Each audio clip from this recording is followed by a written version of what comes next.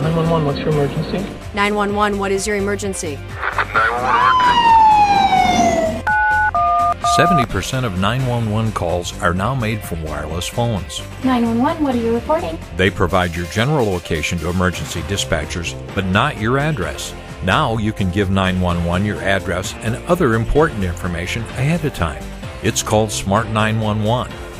It allows you to create your own personal safety profile. If you have an allergy, heart condition, or other medical condition that you want emergency responders to know about, the information will be contained in your Smart 911 file. The Smart 911 system is a statewide system here in Arkansas that is private, free, and secure. It allows you to create your own safety profile, which contains life saving information for police, fire, and EMS personnel. Go to smart911.com and register today